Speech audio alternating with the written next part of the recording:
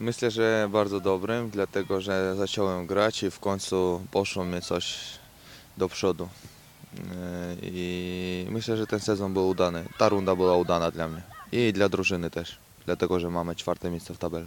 To e, ta dru- drużyna dla mnie bardzo dużo znaczy, dlatego że fajny zespół, fajny kolektyw i ja w życiu nie widziałem takich chłopaków, którzy tyle miesięcy nie dostałem wypłaty, nic, a przed meczem wychodzimy i i z takim no, nastrojem wychodzą, walczą, nie wiem, no to jest dla, dla mnie e, rewelacja, dlatego że przed meczem Janek mówi dobrze, nie płacą, nie płacą, na za 100 mil gramy, nie? I to te słowa dla mnie jest, nie wiem, no, więcej niż e, pieniędzy i więcej niż wszystko, nie? Jeżeli tak wszystko e, przemyśleć, to mi się wydaje, że dobry, bo po ciężkiej kontuzji wróciłem e, na ostatnie mecze wcześniejszego sezonu.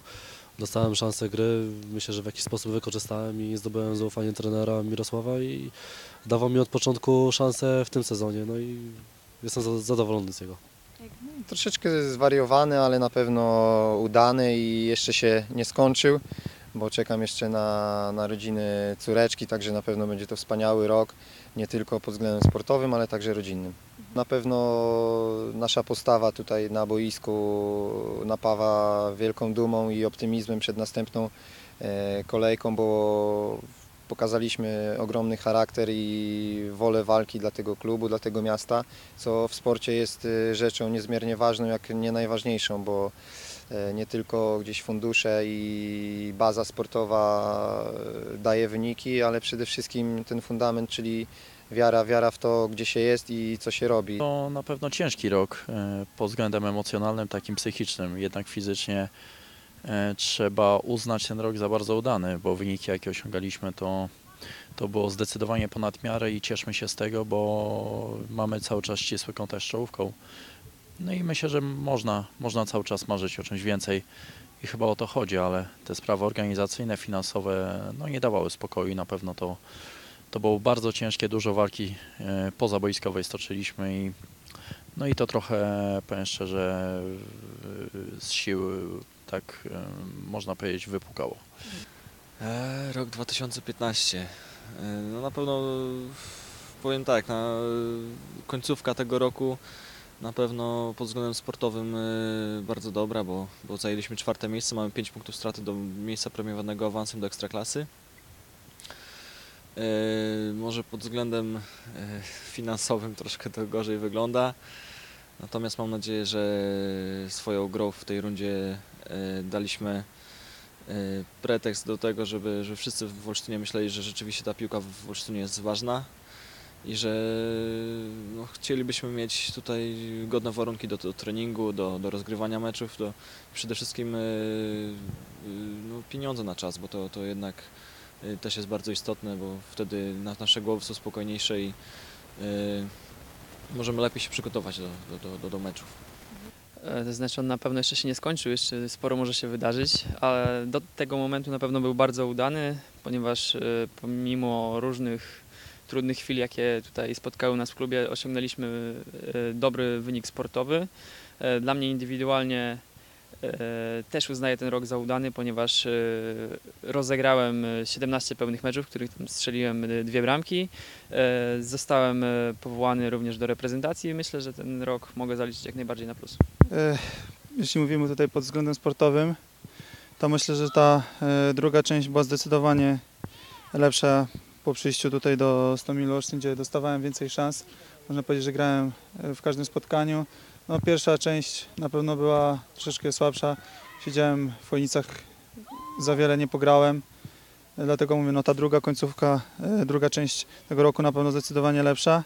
A ogólnie 2015, no fajny rok. Urodziło mi się dziecko, z czego chyba jestem najbardziej e, w 2015 roku zadowolony.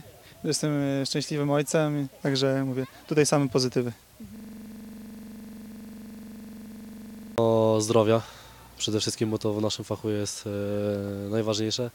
No i to, żeby e, się troszeczkę polepszyło w tym e, Stomilu, no, mimo wszystko, żeby były warunki do normalnego trenowania w pierwszej lidze i żeby to ruszyło do przodu, żebyśmy e, mieli e, szansę dobrze wykorzystać te wszystkie e, stwarzane nam szanse gry na innych boiskach. Pewno chciałbym się e, w jeszcze szybszym tempie rozwijać, e, robić te kroki naprzód zarówno e, i sportowo, i jako, jako człowiek i po prostu, żeby to, ta moja przygoda z piłką nabrała większego tempa, żeby to wszystko w, jeszcze w większym tempie się rozwijało, oczywiście na plus.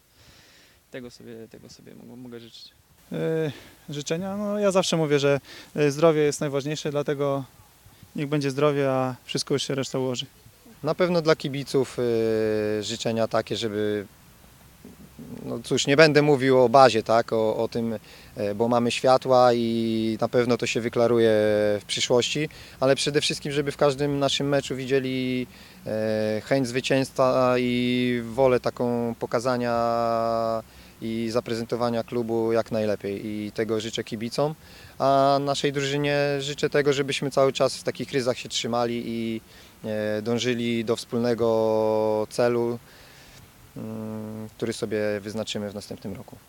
No na pewno chciałbym wszystkim kibicom podziękować e, za ogromne wsparcie, duży doping i przede wszystkim też pamiętamy cały czas o tej zbiórce pieniędzy, którą kibice e, dla nas zrobili na początku e, roku, więc to wszystko mamy w głowie i za to chciałbym bardzo podziękować za, za te wszystkie pozytywne emocje i za ten głośny doping we wszystkich meczach i też chciałbym życzyć e, wszystkim kibicom e, z okazji nadchodzących świąt Bożego Narodzenia, e, zdrowych, spokojnych oraz radosnych, pełnych ciepła świąt oraz dużo radości, dużo siły i odwagi w nowym 2016 roku.